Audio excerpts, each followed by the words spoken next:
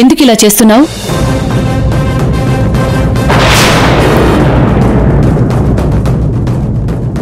మొహం చాటేసినంత మాత్రాన నిజం దాగుతుందనుకుంటున్నావా? ఎందుకు నీలో అంత మార్పు వచ్చింది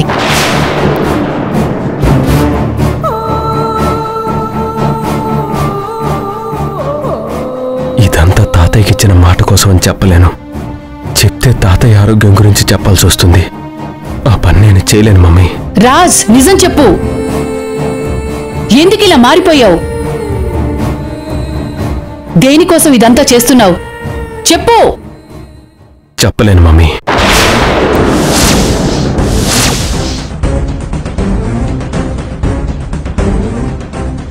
చెప్పలేవా? లేక నాతో చెప్పడం ఇష్టం లేదా? మమ్మీ నిన్ను కాదు అని నేనే పని చేయను. అలా అని ఇప్పుడు ఎందుకు ఇలా చేస్తున్నానో కూడా చెప్పలేను. కానీ ఒక్కటి మాత్రం నిజం ఆ కళావతిని నేను ఎప్పటికీ భారీగా అంగీకరించను. మరి నీ భార్య అంటే ఇష్టం అన్నట్టు ఎందుకుంటున్నావు? నా కారణాలు నాకున్నాయి మమ్మీ.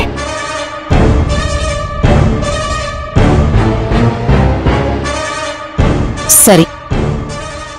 కారణం ఉంది కదా అని నీకిష్టం వచ్చినట్టు చేస్తే కావ్య అదే నిజమని నమ్ముతుంది. నీ మీద ఆశలు పెంచుకుంటుంది. మరి తనకి ఏదో ఒక రోజు నిజం తెలిస్తే అప్పుడు తనకేం సమాధానం చెప్తావు? ఒక ఆడపిల్ల మనసు బాధపెట్టినట్టు కాదా? ఏం సమాధానం చెప్తావు రాజ్? అది నేను చూసుకుంటా మమ్మీ. నువ్వు మాత్రం నేనేం చేసినా చూసి చూడనట్టుండి చాలు. రాజ్ ఇది వరకు ఇలానే అన్నావు.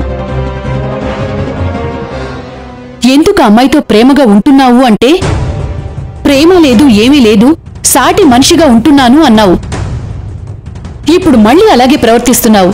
ఏంటిదంతా? Mummy please. అర్థం చేసుకో. ఇంతకంటే ఏం చెప్పలేను.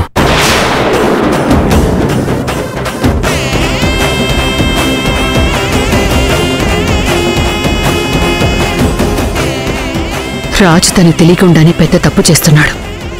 వీడు నిజం చెప్తున్నాడా? అబద్ధం చెప్తున్నాడా? ఇది ఎక్కడికి దారి తీస్తుందో?